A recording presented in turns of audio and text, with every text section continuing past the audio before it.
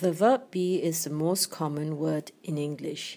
It is everywhere, so you need to know how to use it correctly.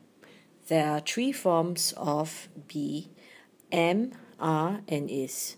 We say I am, you are, he, she, it is, we are, you are, they are.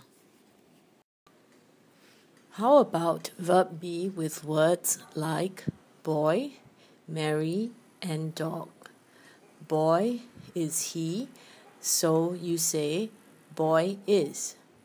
Mary is she, so you say Mary is. Dog is it, therefore dog is. How to make a simple sentence with the verb be.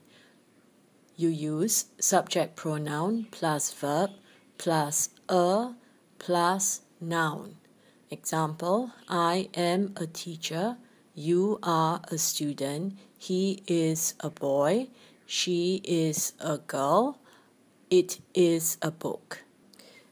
If the noun begins with A, E, I, O, U, you use N before the noun. For plural nouns, you use subject pronoun plus verb plus nouns. Example, we are teachers, you are students, they are boys. You can also use verb be with an adjective.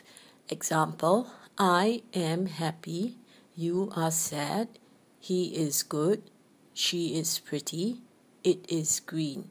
It is the same when it is plural. We are happy, you are sad, they are hungry.